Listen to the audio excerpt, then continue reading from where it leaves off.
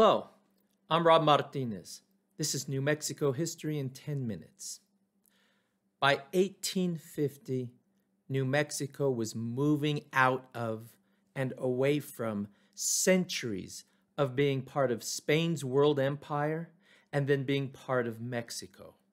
This radical shift away from Spanish and Mexican rule and into U.S. territorial rule was radical and had reverberation through every aspect of New Mexican culture and politics. That included religion. Let's remember, the Pueblo people had their own religious and spiritual practices for centuries before the Spanish ever arrived in the 1500s. When the Spanish arrive, they bring Spanish Roman Catholicism. This form of Catholicism was the state religion of Spain's empire. True, there was also Jewish and Muslim elements in the culture and uh, religious expressions of Spain, but nonetheless, after 1492, Roman Catholicism is the state religion.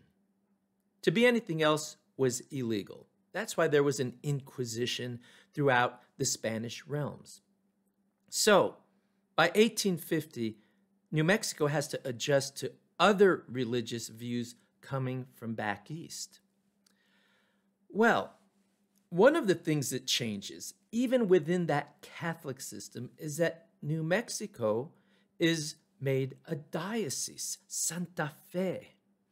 And a bishop is finally appointed to New Mexico, the Bishop of Santa Fe. The first bishop was Jean Baptiste Lamy, a Frenchman. There's a lot of speculation as to why the Catholic Church appointed a Frenchman. Maybe they thought, well, French is a Romance language. It should be easy for a Frenchman to rule over the New Mexicans who have Spanish language and Spanish and Mexican Catholic practices. But it was a strange choice. And soon it would be very controversial. Lamy was from France. Uh, he uh, made his way uh, to the United States and he eventually is a priest at Cincinnati, Ohio ultimately, when he's appointed the Bishop of Santa Fe, and he makes his way along the Santa Fe Trail, and when he gets to Santa Fe, um, he has a bit of a surprise. Uh, no one uh, here uh, recognizes him as the bishop, and they're told that they uh, don't have any official word from Durango in Mexico that he would be arriving or that he would be uh, the bishop. So he ends up having to travel, as if you can imagine, all the way down to Durango to give official word that he is the new bishop in Santa Fe. So this delays his taking over uh, by a few months, but nonetheless, he comes back and he is the bishop of Santa Fe, Bishop Lamy. Well, almost immediately, he looks down on the local population and their religious expression. We need to understand that Roman Catholicism is not monolithic, or not as monolithic as we think it is. Um, we tend to think that there's uh, only one kind of Catholicism. There are actually something like 12 to 14 different rites in Catholicism. The, the largest one or the biggest one is the Latin rite. But there are different uh, official uh, religious expressions within the Catholic Church. And then uh, local populations and local cultures tend to shape and mold uh, that religious expression even more. New Mexico, over the centuries, had developed and evolved a Roman Catholicism that was folk Catholicism. Yes, there were Franciscans coming here in the 1700s and into the early 1800s, and then diocesan priests. But ultimately, uh, at first, they come into contact and clash with Pueblo religious expressions, then Genízaro Indian religious expressions, and then, of course, the local uh, Hispano Nuevo Mexicano uh, religious expressions start to take on a look and uh, flavor all their own. As the late Jesuit priest, Father Thomas Steele, described it, he called it un misticismo tosco, a rough edged spiritualism in New Mexico that was uh, prayer and ritual that brought the people, the local gente of New Mexico, into an intimate relationship with God. It also um, brought them close to what were considered other family members, the, the Virgin Mary, other saints, and angels. In other words, it was folk religion, and you see expressions of this religion start to develop and evolve in the late 1700s, the early 1800s. Our Santero tradition, the carving of saints, our penitentes, uh, it all creates a form of folk Catholicism that to someone like uh, Bishop Lamy was quite exotic, foreign, and almost not Christian.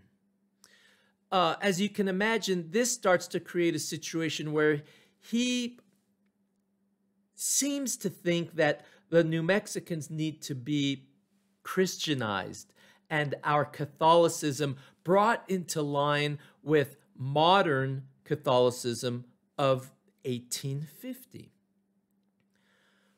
Well, by 1850, one of the most powerful religious leaders in New Mexico was Padre Martinez of Taos. Father Martinez of Taos. He was from Abiquiu, born in the 1790s, the son of Antonio Severino Martin and Maria del Carmen Santisteban. He was a Nuevo Mexicano. He was of Spanish and Native American ancestry. When he went to study in Durango to be a priest, he studied under the Jesuits, who were quite uh, enlightened and even radical. Um, Father Martinez embraced Mexican nationalism and saw his role as a priest to protect the poor in New Mexico and to promote education as a form of freedom for his people. He trained uh, many local men to be priests, uh, men with names like Ortiz and Gallegos. And by the time Lamy gets here, they are, for the most part, the local leaders of the Catholic Church.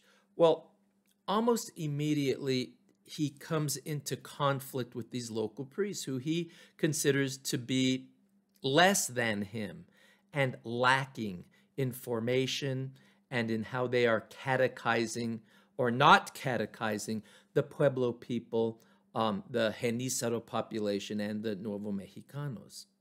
So this sets up um, a battle, a spiritual battle, a battle for the souls of New Mexico's Catholic population.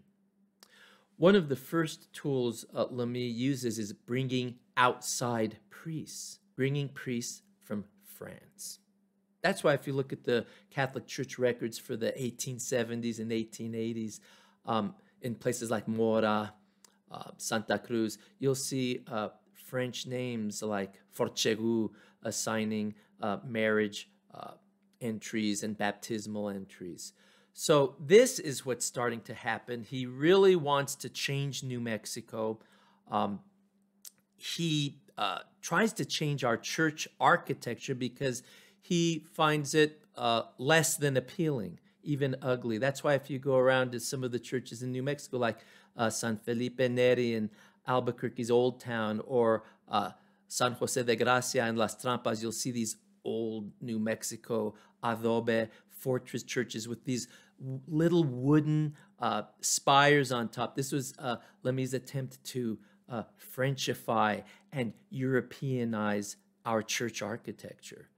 Well, it's not just the church architecture he wants to change, it's also the Catholic people of New Mexico. And we'll see in another episode what happens when Padre Martinez and the bishop, Lamy, go at it for New Mexico's Catholic soul.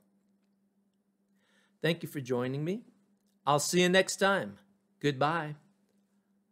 Hasta luego.